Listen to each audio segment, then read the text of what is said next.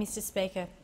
My question is to the Minister representing the Minister for Communications. The Productivity Commission's Telecommunications Universal Service Obligation Report recommends winding back Telstra's obligation to provide payphones. Payphones are a critical form of telecommunication in regional areas. Mayo has more than 130 identified mobile phone black spots. Vast sections of Kangaroo Island and Fleurieu have no coverage. Unemployed Australians rely on payphones to communicate with Centrelink and job-active providers. Will the minister be implementing the recommendation, and if so, how will the government ensure regions with little or no mobile phone coverage and unemployed Australians are not worse off?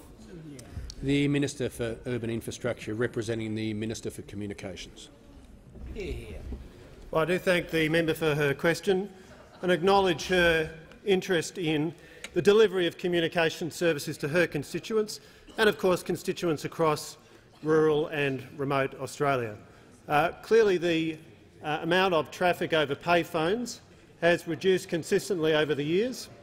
At the same time, what we are seeing is uh, a greater and greater increase in the amount of traffic occurring over mobile phones and, of course, thanks to the work of this government under the Mobile Black Spots program, a very significant increase in the number of mobile phone base stations around the country and therefore the number of people who are able to obtain coverage under uh, obtain mobile coverage.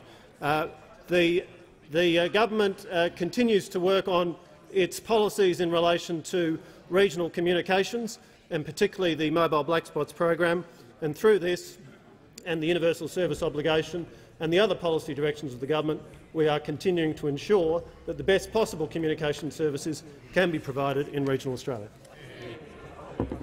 Um, the minister's concluded his answer. I think I know the member for Mayo was about to seek a, a point of